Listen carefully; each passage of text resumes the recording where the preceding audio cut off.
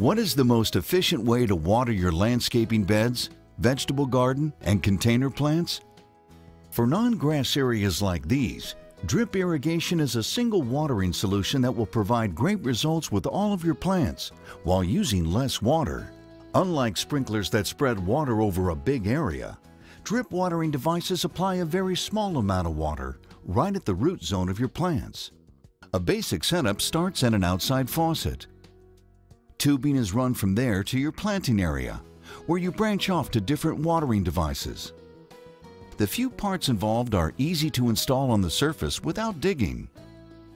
With its targeted watering of each plant, Drip gives you beautiful results with fewer weeds in the surrounding soil. Simple watering control and big water savings. Find easy to install Rain Bird kits at your hardware store or home improvement center. Drip irrigation, another example of the intelligent use of water.